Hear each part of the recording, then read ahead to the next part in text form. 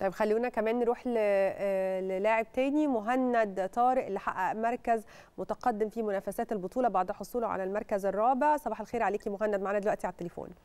صباح النور أهلا وسهلا. مبروك. الله يبارك في حضرتك يا رب. يعني مهند قول لنا برضو إحنا لسه كنا بنتكلم مع ملك وعاوزين نعرف منك برضو إيه أصعب حاجة واجهتك في البطولة دي وشايف البطولة دي تحديدا مختلفة إزاي عن البطولات الأخرى اللي أنت دخلتها؟ والله دايما بتبقى أصعب لعبة لحد ما بتبقى السلاح والفروسية لأن هي بتبقى محتاجة خبرة كتير. نعم. آه لأن إحنا بتبقى في فرق سن آه ممكن تلاقي حد عنده 38 سنة 35 مم. لحد 18 سنة. فطبعا الحاجات دي بتفرق إن أنت كل سنة أكبر آه الخبرة بتزيد عندك. صحيح. أنت كام سنة يا مهند؟ أنا 23 23 طب آه، مهند يعني انت بتستعد إزاي عامة آه، لكأس العالم والخميس الحديث؟ يعني بتعمل إيه؟ تمريناتك بتبقى بتاخد وقت قد إيه؟ والله إحنا تقريبا بنتمرن في اليوم حوالي يعني من 8 ل 10 ساعات. آه سافرنا كذا معسكر بره مصر وجوه مصر. آه لأن المنافسات خلاص إحنا في 2023 باريس على الأبواب يعني السنة دي في كذا بطولة مؤهلة. مم. فيعتبر مشوار ابتدى يعني. مم. طيب كل منافسات ال- البطولة أكيد آه، يعني آه، كان ليها كواليس وكواليس آه، حماسية تحديدا أكيد بتتحط فيها بتخليك إن أنت تحمس نفسك أو تحديات بتخليك إن أنت تحمس نفسك علشان لأ أنا هتخطى ده وهتحدى ده وهحصل على البطولة وأنت تقدر. إيه اللحظة اللي حصلت لك في البطولة وحسيت إن أنت فعلا أنت أمام تحدي للذات وتحدي للنفس وأنا هحقق الرقم اللي أنا عاوزه؟ والله يعني البطولة كلها بيبقى فيها مثلا اللي واخد فضة في باريس واللي واخد برونز في باريس آه آسف في طوكيو. فاحنا بننزل نحاول إن إحنا نجيب أكتر عدد points إن إحنا نحاول نأدي مع الناس ديت لأن إحنا المستويات بتبقى معروفة قبل البطولة. فاحنا بيبقى عندنا points معينة لازم نجيبها مثلا السلاح. إحنا بنلعب 35 ماتش آه إحنا عايزين نجيب مثلا 25 فده target مهم جدا إن ندخلك جوه البطولة ب score كويس وتعرف تنافس على ميدالية في الكأس العالم. مم.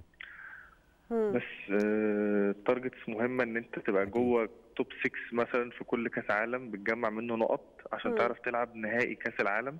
ده السنة دي هيبقى في تركيا أنقرة ده اللي بياخد ذهب هناك بيتأهل direct على باريس. وعندنا برضو بطولة العالم في باث إنجلترا في شهر 8 دي نعم. اللي يخش بوديوم برضو يتأهل direct على باريس فاحنا عندنا مشوار كأسات العالم إن إحنا نعرف نروح البطولتين دولت. نعم. وبإذن الله ربنا يكرم هناك ونعرف نتأهل من السنة دي. إن شاء الله بإذن إن شاء الله. الله طيب مين اللاعبين اللي كانوا آه، بي compete وا معاك بشكل كبير أو كانوا يعني في تنافسية ما بينكم بشكل كبير من دول إيه؟ والله هو يعني إحنا مصر لحد ما دلوقتي بقت من أقوى البلاد اللي بتلعب خماسي حديث هي ودولة المجر. إحنا عرفنا ناخد أول ورابع. والتاسع وال11 كل ده مم. وال18 كل ده. إحنا كنا خمسة جوه ال final. وده تقريبا أكبر عدد دولة عرفت تخش بيه ال final وتعمل نتائج كويسة نعم. فيه.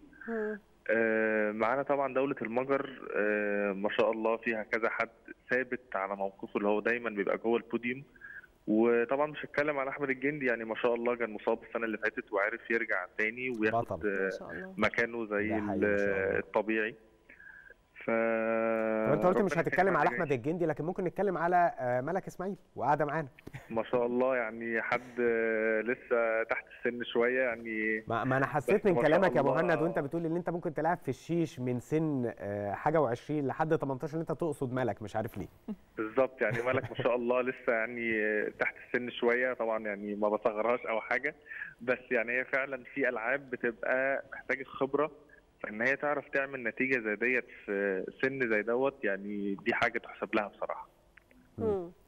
إحنا بنشكرك يا مهند يعني بنتمنى لك أكيد مزيد من التوفيق في اللي جاي. يعني في الحقيقة أنتم مشرفينا يعني في كل المسابقات اللي بتدخلوها وإحنا مبسوطين إن إحنا عندنا ألعاب كتيرة قوي إحنا بنحصد فيها على مراكز عالية وميداليات مهمة سواء ذهبية أو برونزية أو مراكز مهمة جدا في هذه المسابقات.